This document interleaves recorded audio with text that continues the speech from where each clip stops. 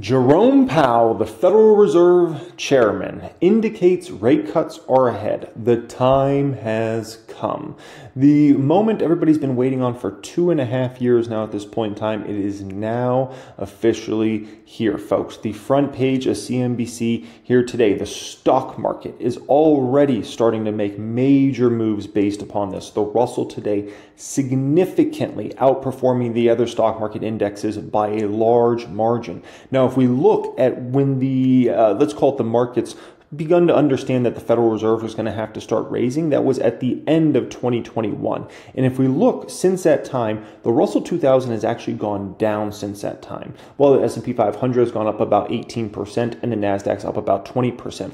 Now, something fascinating about that is when you think about the past 33 months, Everything out there has basically gotten immensely more expensive over the past 33 months. But you know what has not?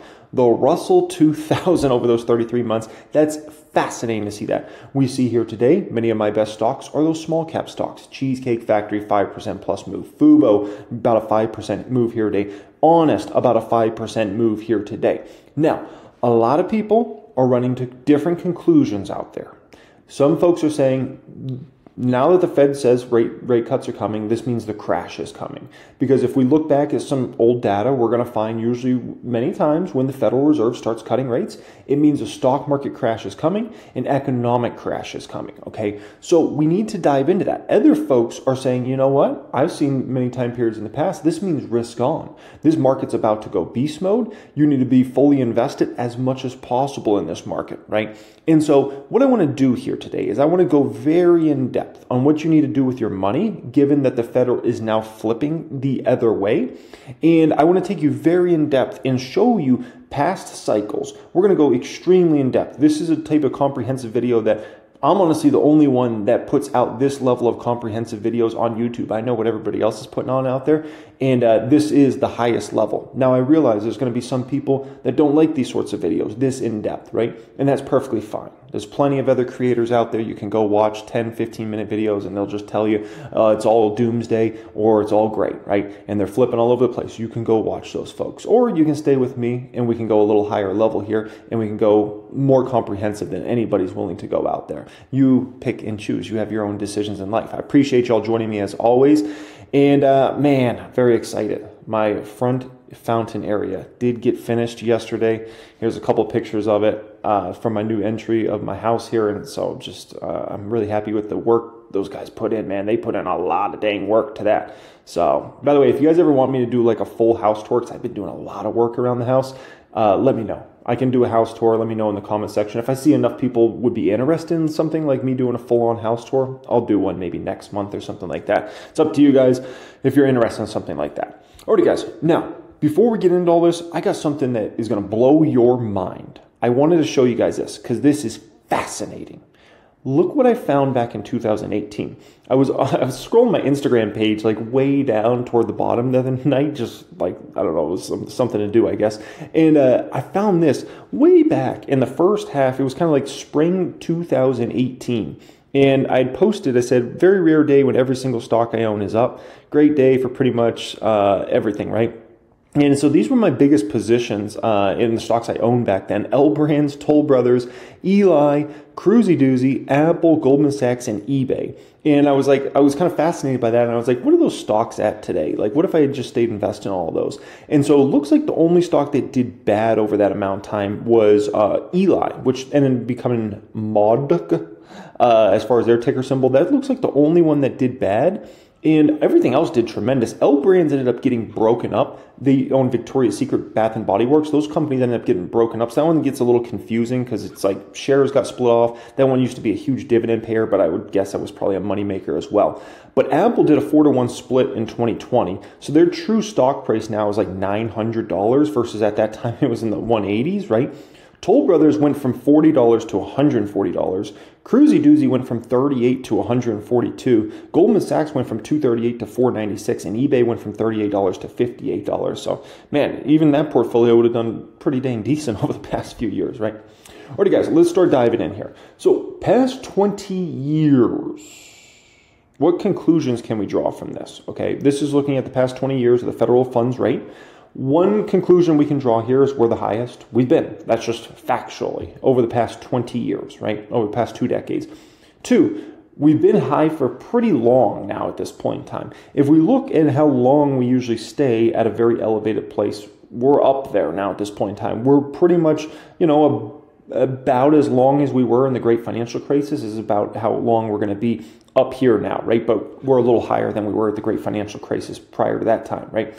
And we're looking at likely a multi year cut cycle. So that's an important thing people got to understand is this is likely going to be a cut cycle that starts in 2024 and it might not end until like 2026. So it's just a little food for thought in regards to that. Okay, so this probably has quite a ways to go. And we really only had three hike cycles over that span. We had this one prior to the great financial crisis. We had this one, which was kind of, you know, it started way back in kind of 2015, 16, and then ran through until about 2019.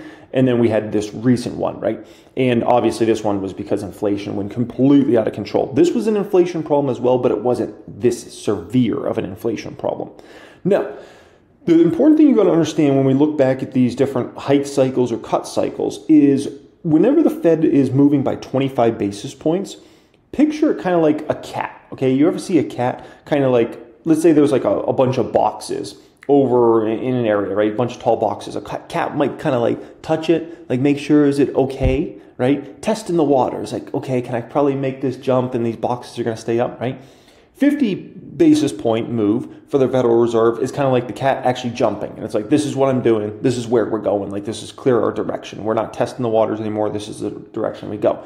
75 basis points or more in terms of Fed raising rates or dropping rates, that's panic mode. So picture the cat jumped on the boxes and then it's like, all these boxes aren't stable and it jumps off and it's panicking, right?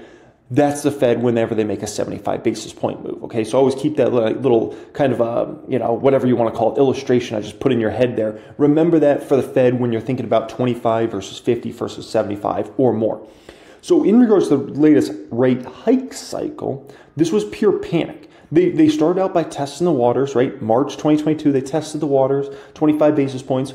Then they're like, okay, let's definitively make sure we're moving in a direction. They make a 50 basis point move, right? Like, this is the way we're going, we're hiking. And then they start panicking 75, 75, 75, 75. When you make that many 75 basis point moves in a row, back to back to back to back, you're in full scale panic mode as a Federal Reserve. And it makes sense that they were in panic mode. They did not start raising rates nearly fast enough, right? And they didn't start raising them early enough. They should have been raising rates already in 2021 uh, Eh, you know, you're already seeing plenty of signs of inflation was an actual issue in 2021. They should have started raising in 2021, and then they could have kept that going in 2022, and we probably wouldn't have had to face as problematic inflation as we did end up facing in the end, right? Now, if we look at the kind of 2015 to 2018 cycle, this is what you would want to look at if you want to look at it like an orderly perfect cycle. 25 basis points up, 25, 25, 25, 25, 25. Like that was a very natural, orderly, perfect cycle. The Fed didn't have to freak out in there. We had a strong economy during that particular time, right? Along with no real inflation problems, right? And you're always going to have inflation in the economy. That's what you should have, right? If you have deflation, that means you're already in massive recession. You should always have inflation in, in the economy, and we certainly had that from 2015 to 2018, but it wasn't out of control. It was controllable inflation, the, the sort of inflation the Federal Reserve likes, the sort of inflation the government likes, the sort of inflation that corporations like, right? And we had a strong economy during those particular years. And so it was an orderly, perfect cycle. Then right, we had the Fed test the waters a little bit, and we actually had an orderly cut cycle 25 basis points down, 25 basis points down, 25 basis points down. That was all orderly. And then we had a black swan event come, a once in a hundred year health event, right? And the Fed had to panic and they cut all the way back down to zero. During that situation, they took down 50 basis points and then literally not even two weeks later, they cut by 100 basis points. That is pure panic, right? Then we had the uh, this was the the rate cut cycle in the great financial crisis. Now, it's important to understand the Fed was clear right from the go like we're we're cutting, we're moving here. But then they started back off and they started doing you know, kind of what would be seen as like very Tesla water type cuts. 25 basis points in October, 25 basis points in December. Why are you going to move 50 and then just start moving 25? That seems kind of like babyish, right? And I believe at that time what they were scared of is some commodities were starting to jump back up during that particular time. And I believe that led the Fed to kind of be a little concerned about maybe let's not lower rates too fast because we don't want commodities to go, go, go crazy. And commodities ended up still going crazy into 2008, right? Now, the important thing to understand about this this could happen. This could happen in this cycle where let's say the Fed starts lowering rates, okay? You could send the commodities market upward in a significant way once the, after the Fed starts starts actually cutting rates. And if commodities all of a sudden start going through a bull cycle, right? Imagine oil starts going up big, natural gas starts going up big, right? Lumber, coffee, everything, right? Boom, boom, boom, boom, boom. That could freak the Fed out big time because then they say, oh my gosh, like inflation might come back six, 12 months from now because these commodities are all going up so much. And we might stick ourselves in a situation where we're going to have to stop cutting rates or we might have to start going up back again on interest rates again. This is a huge risk that not a lot of people talk about or think about when they're thinking about a rate cut cycle. They assume like it's all just gravy and it's all just fine. No. If you get commodities running again, you could set yourself up for a complete disaster because then you're stuck in a situation where you could have inflation starting to run wild again while you got a weakening economy, what do you do in that situation? Do you have to sacrifice to inflation and cut? Do you not cut and then let the economy get devastated? That's a big problem. We could run into that problem next year, folks. And I'm just mentally prepping you ahead of time. It's a potential, okay? It is a potential, it is a risk you have to consider. Now, by the time we got to January of 2008, the Fed started to full on panic, right? They look at this. January 22nd, they cut 75 basis points. 75 basis points is already a panic move, right? And then eight days later, they cut another 50 basis points. Pure panic, the Fed was at that particular moment. Then they do another panic cut of 75 basis points again, March 2008. These are sorts of things that freak a market out, by the way. You know, you might assume like, oh, the market would love this 75 basis points, 50 basis points, 75 basis points, cuts, cuts, cuts. No, that's the type of stuff that freaks the market out. Like, oh my gosh, what's about to happen in the economy? If you, the market can deal with a Fed that's orderly and they're like going in one direction, they can deal with that. They cannot deal with a, a Fed in pure panic mode. And that's what we had at that particular time. Then it was pure panic after that, right? October 8th, 2008, they cut 50 basis points. October 29th, they cut another 50 basis points. So in a matter of three weeks span, that's 100 basis points of cuts.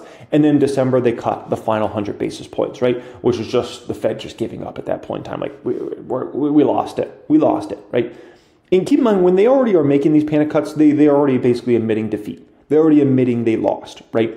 No different than 2022, which we go back, where's our 2022? Uh, cut cycle here. Right here, this this time period, right? And we had Jackson Hole somewhere around here. This was a Fed already signaling we lost it. We lost. Like like we're in full scale panic mode. We lost to inflation. we're just you know just trying to do whatever it takes now at this point in time. And that was the Fed certainly in, in the 2008 great great financial crisis, just on the other side of cutting. Like we lost. We're just in panic mode. Cut it down to zero. Okay. So now important it's very important everybody understands this. The Fed usually moves too slow at first. So it doesn't matter if it's a hike cycle, a cut cycle, they're usually going to move too slow compared to what they should be moving. So you, you, know, think about the the hike cycle that we went through in 2022. One, the Fed should have started sooner. Two, the Fed should have went more aggressive from the go. It should have probably done 50 basis points, 50, 50, 50, 50, right? Start that at the end of 2021 rather than March of 2022. They were just way late to the game and they weren't raising fast enough, right? And that led to those panic raises of 75, 75, 75, right? So this is something important to remember. So likely the, pro, the I would say there's a pretty high probability here that when the Fed starts cutting rates, they're probably not going to do so aggressive enough. They probably should have already started cutting rates and they're probably going to move too slow. If you're going to put the odds on it, you're usually going to have to say they're probably going to mess it up, right? It's just history. It's just history. Now, it's important to understand the Federal Reserve started cutting 2007, right? September 2007. Now, the scary part is, I mean, there's a lot of scary parts about that When's the Fed likely going to start cutting right now? September 2024. Okay, so another September cut into a starting of a cut cycle here, right? That's just ominous right off the bat that it's going to be another September start to the, the cutting cycle, right? Freaky. Additionally, the recession uh, started in December 2007, right? So three months later, you got into a recession, which is kind of scary because here we are, September. Fed's going to start cutting likely, right?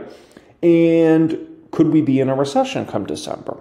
I don't know. We'll see. But you got to remember, like, just because you start cutting doesn't mean you avoid recession. Like, you could still end up in a recession a few months down the road. Now, as of right now, the GDP is fine, right? We're, you know, this is looking at the Atlanta GDP Now tracker, which they have us latest estimate here recently is around 2%. GDP growth, which is fine, right? Two to three percent GDP growth in the United States is you'll take that any day. Like that's you know for how developed our economy is. If you can get two to three percent GDP growth, you're gladly take that. Like yes, yes, yes, let's get it. But if you think that's going to save the day and that just means all good things are here, right? The Fed's cutting, GDP looks good, we're fine. Slow down for a second. Look at this. The third quarter of 2007 GDP growth was 2.3%. 2.3%. So you could have said right there, we're fine. GDP is growing very nice, 2% something. They're starting to cut rates. What's the issue? Soft landing, baby. We're here, right? Ooh, be careful jumping to conclusions. Now, you might say, okay, okay, that's something there, right? But what we have going for us is we have a very low unemployment rate. So that means we're safe here no problems ahead, right? Because unemployment rate somewhere around 4.3%. Let's say it even gets worse over the next month or two, right? And let's say, you know, the September number is 4.4, 4.5. That's still very low. Anything under 5% in the United States, you'll take that. That's great low unemployment rate, right? And so you may say, we got that. We're fine. Well, guess what? August 2007, where was unemployment rate? 4.6%. So they also had very low unemployment, very low unemployment prior to the great financial crisis. So this would have been very easy to say we're going to have a soft landing. They're starting to cut rates. We got GDP looking good. We got low unemployment, soft landing ahead, right? And then we certainly did not get a soft landing. We got a rock hard landing, right? Now, we might say, well, this time's different. And the reason it's different is we got the most ridiculous amount of money on the sideline that we've ever seen by far. $6.4 trillion, right? That's insane. Money market funds, 6.4 trillion. That's going to save us, right? Because it's so much money over there on the sideline that if the market does drop in any significant way, that money is going to come into the market. That's going to save the market. People might take money out of money market funds, buy real estate with it. Real estate goes down in any substantial way. So that's going to put a bottom on everything. And we're probably not going to get much of a move down because money markets are, are so heavy, right?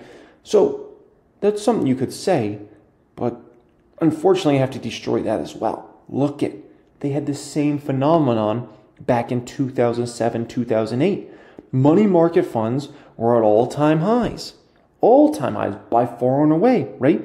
And look at this. From the time I was born, right back here, we were at about $400 billion of money market funds.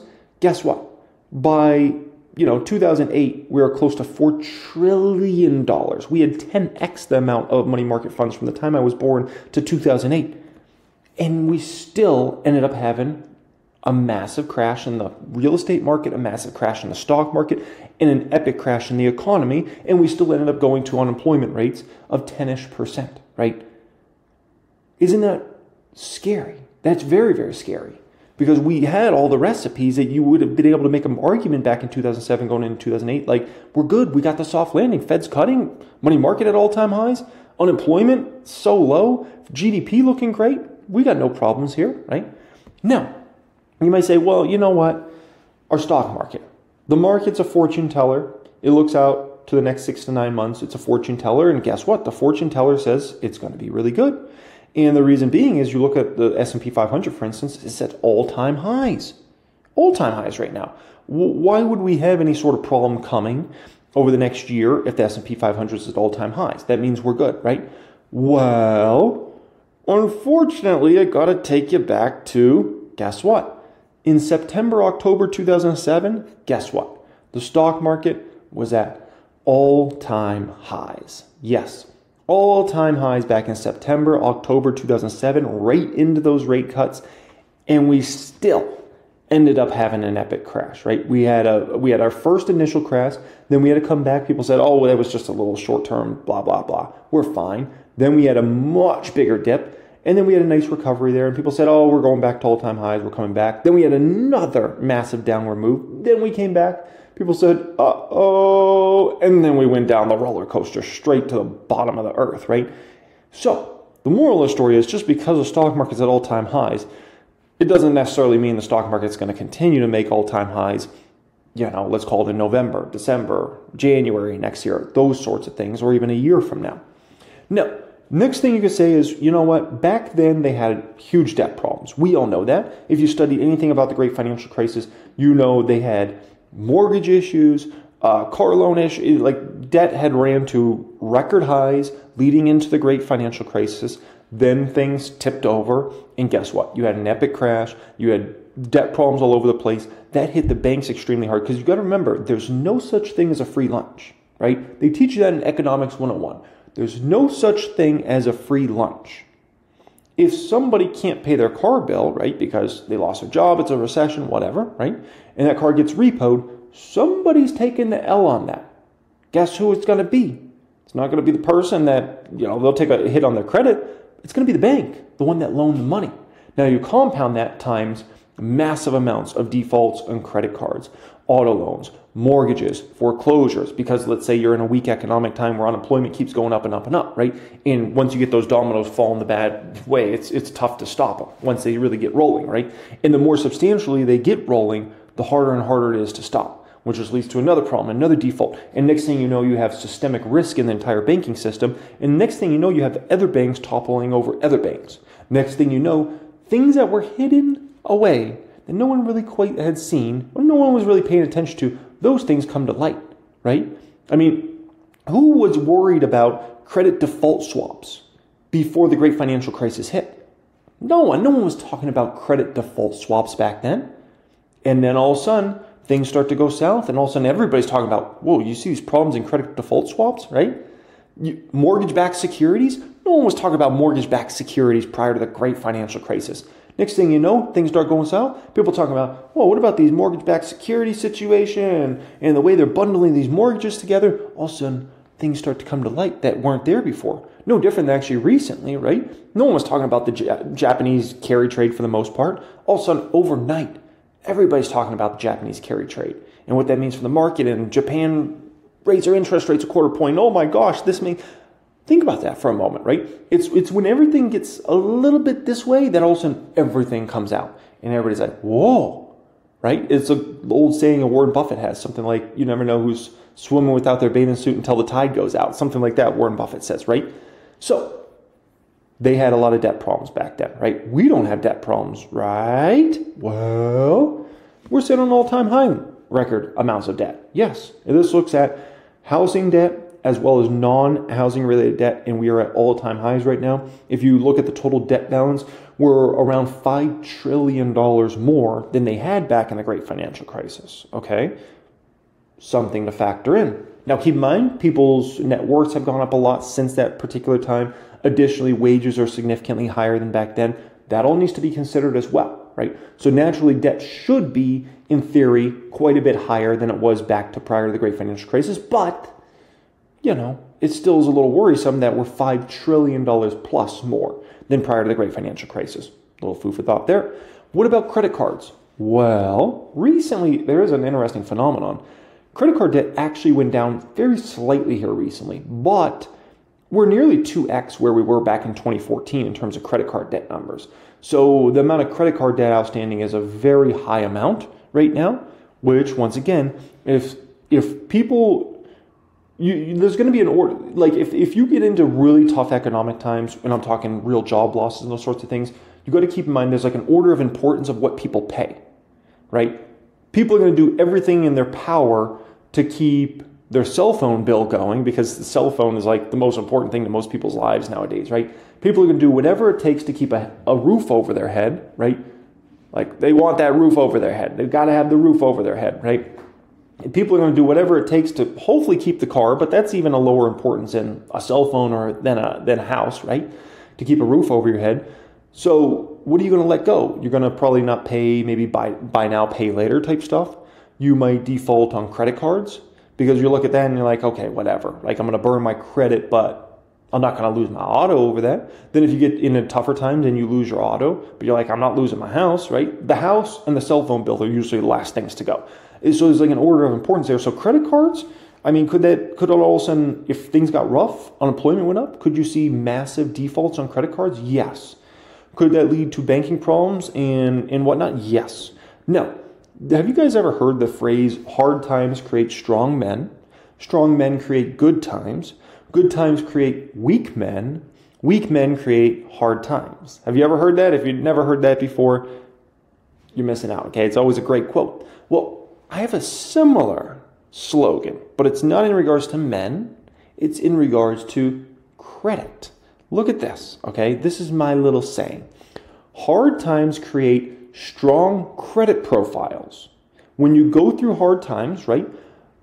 You're the only people that are really going to be able to get credit in those hard times are people that are very likely to pay back, right? Now, strong credit profiles create good times. Because if you're giving credit to only the most uh, probable people to pay back that credit, it's going to create good times overall. Because the banks aren't going to have to take hits on that and the banks will be able to loan more and more money out there right? The credit card companies will be more and more willing to loan more money because they're looking out there and like man everybody's paying their credit card bills. This is great right? So for instance i mean i remember back in the day it was you know when i when i had to get even my first auto loan even though i had a really good stable job and whatnot i still had a i think my first auto loan was in i want to say eight and a half or nine percent. And this was in a time period where the Fed funds rate was at zero. Keep that in mind. The Fed funds rate was at zero. And even though I had a good stable job and I had a bunch, I had already had a good amount of money, five figures in stocks, if not multi five figures in stocks, right? I had more in stocks, I believe, than I, than the actual car purchase was.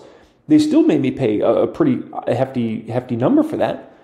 And so, but once again, stronger credit profiles those people pay back. I'm never default on any loan ever, right?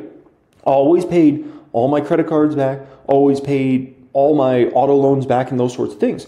And so with when you give people like myself credit and we pay back everything, right? And we build our credits to perfect things, then these banks and these credit companies they start giving credit to more and more people. And they're more willing to, you know, good times create weak credit profiles because the banks start getting loosey goosey with who they're going to give credit to, right? And they start giving auto loans to people that, you know, I don't know if they're going to really pay back those auto loans. When these same folks would have never been able to get an auto loan back in 2009, 2010, 2011, because they would have been seen as far too risky back then, right? And weak credit profiles create hard times. So when you give a bunch of credit to, let's say, folks that might not pay it back, right? They're not, they're not, they don't have very stable jobs or stable or or stable you know net worth and those sorts of things. And you're just kind of giving giving loans out there. It's just kind of like we'll do whatever it takes to get you in the car. And i've seen a lot of that. You see a lot of that on instagram some of these profiles of these guys. Oh i'll get you in a car no matter what. You know come down here. I don't care if you got credit. I don't care you know bring two pay stubs boom i'll get you in whatever you want right? I see a lot of that stuff on instagram and it's it's not good. It's not good, man. The fact that they've getting that easy with with you know giving credit out there, that always ends in bad times, right? And next thing you know, people's vehicles are getting repoed, and, and, and once again, there's no such thing as a free lunch. Somebody's taking a hit on that, right? So after going through all that, you might say, "That's it. That's it. We got a market crash coming. It's starting in one to two months, and, and that's that, right?" And you could run to that conclusion, but it's not that simple. Things are a little more nuanced than that, right? So, let's think about this for a moment. You've had the bears screaming, the economy's done in 2022. You had them screaming in 2023. You had them screaming it this year. And guess what? The economy was never actually done, right? Unemployment stayed fairly low, actually extremely low compared to any historical standards. The economy's kept trucking along, GDP's kept up, right? Companies have still been reporting really good earnings. In the top of the market, especially, those earnings have gone to the moon. Like literally, the top of the companies out there are reporting in just in this. Look at this past quarter, for instance. These companies are reporting all-time records in terms of revenues, in terms of net income, in terms of margins. They look at phenomenal, right? And so for three straight years, people have been screaming economy done, economy done, economy done, and it hasn't been done, right? So now we're going to go into 2025 and they're going to be screaming the economy is going to get finished again. And then if it doesn't happen in 2025, they're going to be screaming in 2026. So a lot of people have been banking on the, the, the downfall of the economy for years and it hasn't happened yet. Doesn't mean it's not coming, but it hasn't happened yet, right? And they're going to keep screaming this until we actually get that big down cycle. And that's why sometimes I just like, let's get it freaking done so people will stop screaming it every two seconds, right? No. The, a lot of what a lot of what people didn't account for is the Fed lags. A lot of people thought the economy was going to be done in 2022 because the Fed started, you know, obviously raising rates substantially. You got to keep in mind whenever the Fed goes through a hike cycle or actually a lowering cycle, it usually takes one to three years before it actually starts to positively or negatively affect the economy. Okay? So let's say the Fed starts lowering in September. The absolute earliest it could start positively affecting the economy is about a year after. But its potential it doesn't start really hitting the economy positively for two to three years. That's why when you saw the Fed lowering interest rates starting at the end of 07 and they lowered considerably in 2008, 2009, it didn't really actually start helping out the economy in any substantial way until you really started getting to 2010, 2011, 2012. There's the Fed lags there, right? That's why when the Fed started raising rates, did inflation get destroyed just automatically? No, it took a long time to bring it down, right? And so that's what people didn't account for. The Fed lags take a while. Now, you guys know I always say housing. If you want to devastate the economy, you got to devastate the new building market. And the reason being is when a home, when I, I always say this, when a home's built, it's the most phenomenal thing for the economy. The amount of jobs that are created from one home being built is off the charts. Is so many different trades that go into that.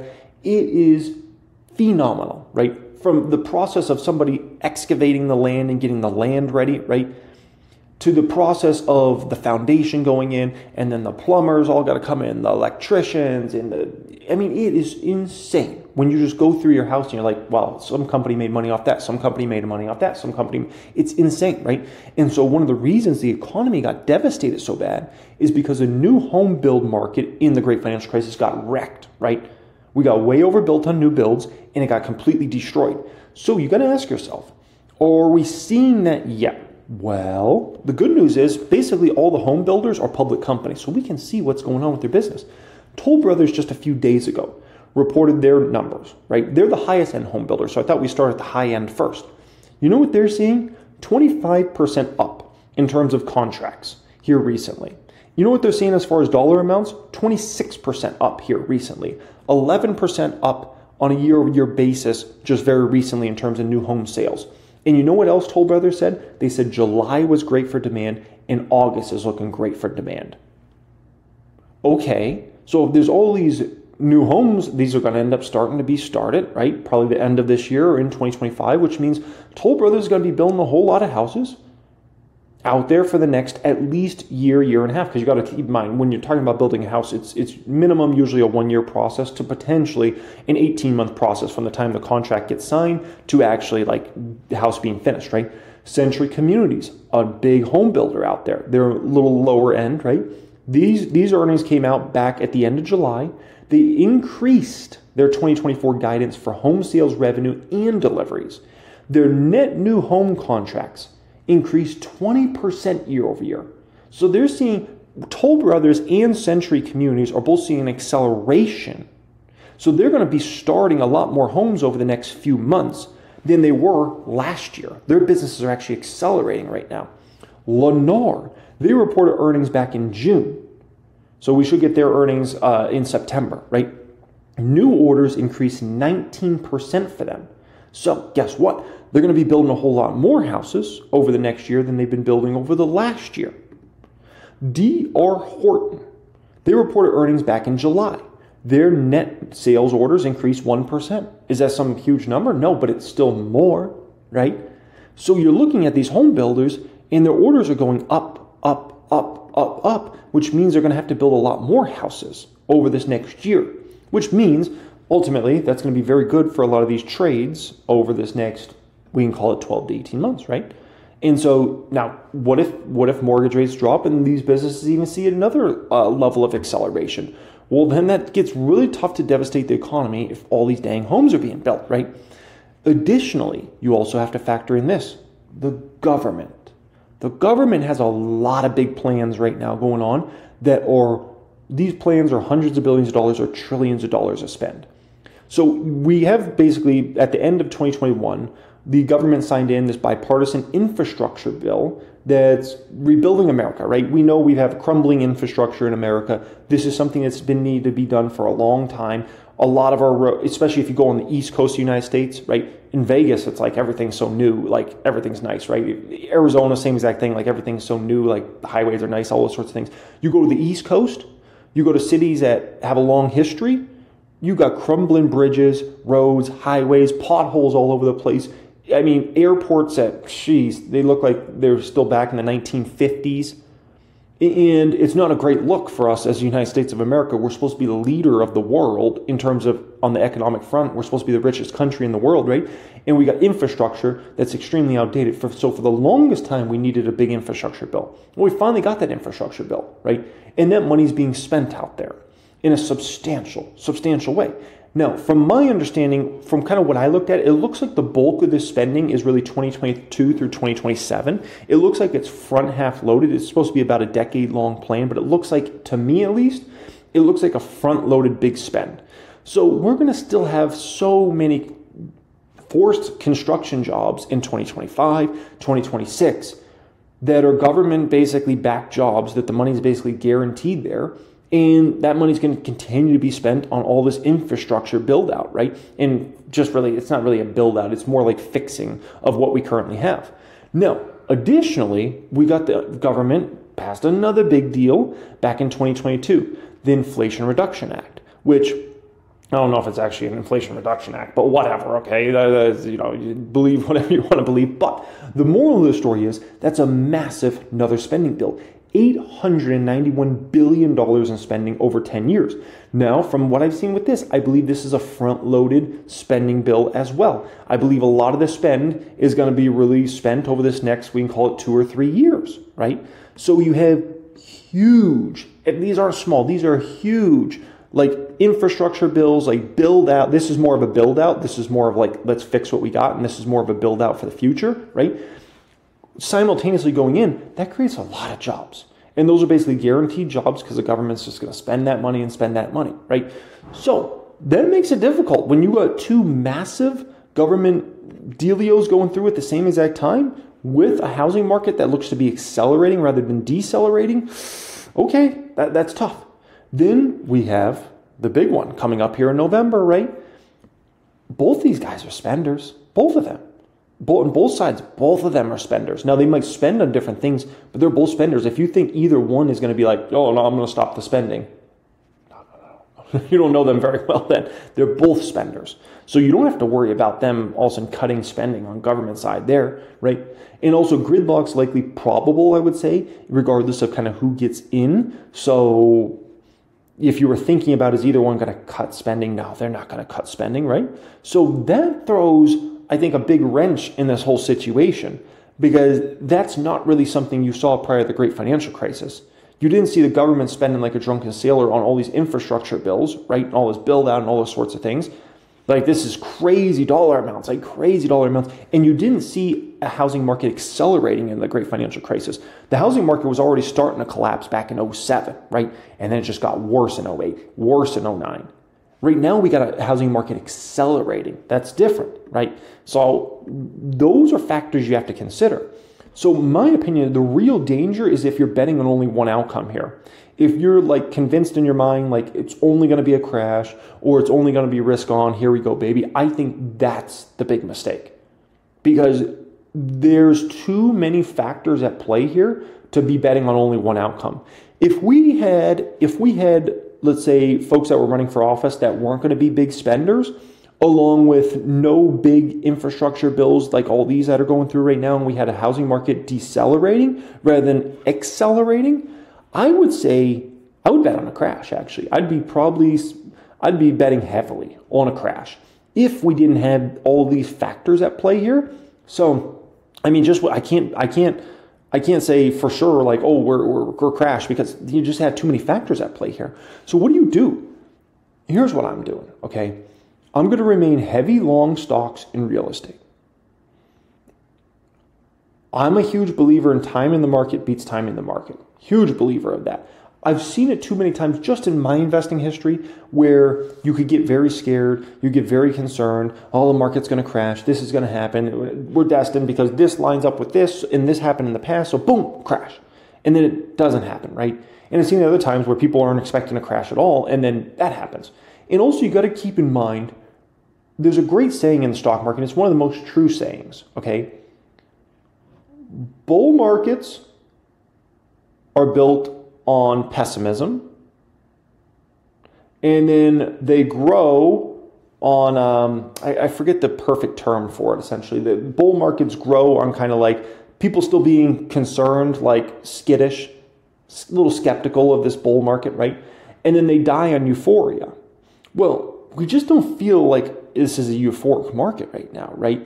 It would be much easier if I saw huge amounts of call buying right now. If I saw everybody out there saying, you know, oh, we're going to the moon, baby, the economy is good, soft landing guaranteed. If I saw all that, I'd be able to say much easier, like, oh, this is the end. Like, like you know, because bull markets die on optimism. Look at 2021, it died on optimism, right? Look at 2007, you had a lot of optimism there. Look at the tech bubble.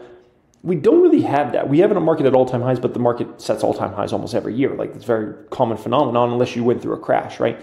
So you can't really just say that. You got to. There's a, a, certain feeling. There's certain data points, and it's it's hard to really make that that you know statement about that. I'm going to keep buying growth, value, dividend stocks weekly. I've been leaning very heavy to value and dividend stocks recently rather than growth stocks. And I'm going to continue to be heavy in profit companies that make a lot of money. Because these sorts of, I want to be in the sorts of companies that they do well regardless. Inflation, deflation, bad economy, good economy, okay economy. I want to be heavy in those sorts of companies that are they perform, they put up their numbers regardless, right? And if you look at where my big money's focused, those companies put up their numbers regardless. Like it doesn't matter what's going on. Oh, these companies are all facing weakness. These companies are doing great, right? So that's what I'm going to do. I'm going to also hold about, I would say, probably between $500,000 and $1.5 million of cash in 2025 and I'm to still be able to earn 4 to 5% range in 2025. Because you got to understand when the Fed does start lowering, and it's going to take them a while to get rates down. It's to take them a while. So I'm to still likely be able to earn either through high yield CDs, high yield savings accounts, or treasuries. I'll still likely be able to yield probably 4 to 5%. Maybe toward the very end of 2025, like the fourth quarter, I might you know, I might only be able to get like 3% or something like that. But for now, like, this is the best it's ever been. Like, for my generation, the millennial generation, we never got to see rates of, of 4 to 5% at the bank, right? And so right now, high yield, you get that sort of numbers. Treasuries, you get those sorts of numbers right now. So I'm going to continue to hold a good amount of cash and have that cash earn interest. I love to see it. I mean, it's beautiful when you can make, you know, $1,000 plus a month, if not multi thousand dollars, just by holding money in high yield savings or in a CD account. It's a lot of fun. it's a lot of dang fun, right? No, additionally, I'm going to hedge going into 2025. I'm going to hedge probably somewhere between $50,000 and $75,000. Remember, when I hedge, I'm going to go smaller because when, when I'm hedging, it doesn't take a lot of money to make a huge difference. Like if if we do get in some sort of situation where, let's say in 2025, the S&P 500 sells off 25%, right?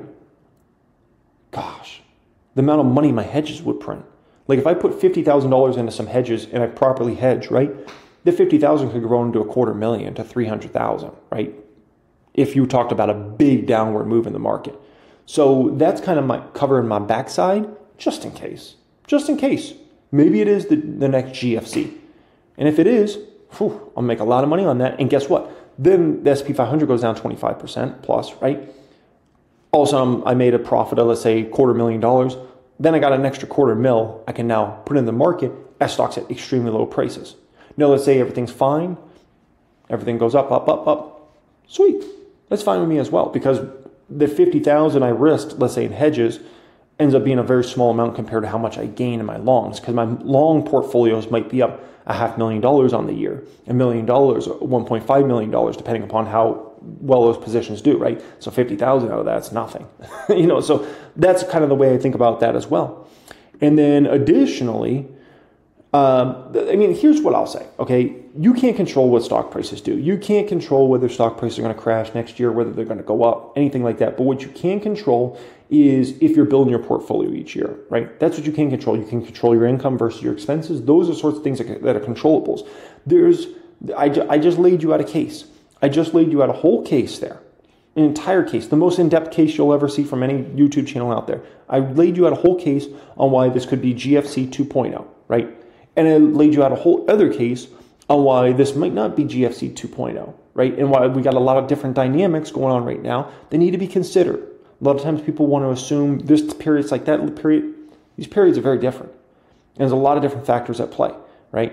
And so the truth is, no one can really predict accurately if next year is going to be a market crash or not. They're throwing darts at a dartboard because you're not getting a clear enough signal either way right now. And so you're just kind of taking a gamble if you think it's going to be all, all full risk on or if it's going to be full risk off. And so, you know, you can control building your portfolio. So that's what I'll remain focused on next year, right? Building out my portfolio. It's what I remain focused on this year. Every single week, build my positions. There's great opportunities in the market all over the place. It doesn't matter if you're in a bull market, a bear market, a kangaroo market. There's going to be opportunities out there, right? And in a, let's say we got into a super bearish market, value stocks will hold up better than that. Dividend stocks will hold up better because people will say, gosh, I can't make any money from stocks appreciating right now. It would be great to make some dividend money. And keep in mind, if stock prices do go down in any significant way, what happens? Dividend yields go up, right? Stock prices go down, dividend yields come up. Great companies can keep paying out bigger and bigger dividends, which is phenomenal. And so you see actually a move into a lot of the value and dividend stocks. So if you're GVD, like I am, growth value dividends, you're going to see some nice appreciation there. Additionally, where do people like to position? They also like to position into the best positions possible, which would be the top of the market, the meta stocks, the Amazons, you know, those sorts of stocks I'm obviously very invested in. So those ones could continue to do very well in that sort of market, which makes it hard to get that market down, right? Additionally, if you had big economic worries out there, then you could have companies like Microsoft, Amazon, and Meta, right? Saying, you know what, we're, we're a little worried about the economy, so in 2026 we're going to pull back on our AI spend in quite a significant way. I could tell you Wall Street might like some of that pullback on, on spend, right? because these companies are spending ridiculous amounts of money. And then those companies said, you know, we're going to use some of that money we were spending on AI, we're gonna, uh, on chips, we're going to use that to do buybacks, that wouldn't be great for Nvidia stock. Let's be clear about that. But for those other stocks, people might actually look at that as a great thing, right? Because these companies are spending immense amount of money on that. So it's another factor to kind of keep in there, right? So you, is you as an investor, don't just bet on one outcome. Understand there's a lot of different things that can play out here, and uh, you know, if you're trying to sell out of your entire portfolio and you're like, I'm going to buy back because it's all going to crash, you know, you could be right, but I'm just setting you're, you're setting yourself up so much risk. If you're saying I'm going all in, I'm margining, baby, it's risk on, you're setting yourself up so much risk. If things go the other way and it doesn't go the way you're thinking of, oh my gosh. If you're like, I'm going to go heavy put options, that big crash doesn't come right now, oh my gosh, you're going to set up for yourself for 100% losses on those put positions and things like that, guys. So focus on building out your overall portfolio. Let everything else be what it's going to be. Okay. Appreciate you guys being here as always. If you're looking to get around like-minded investors like myself and many others, we got a thousand plus members in my private stock group, my private wealth group. And uh, you also get to learn everything I got up here. You get access to 1000xstocks.com if you want access to all those sorts of things. Pin comment down there, click on that. You can fill out an application. We'll see if we can get you in there and access to all that next week. Much love and have a great day.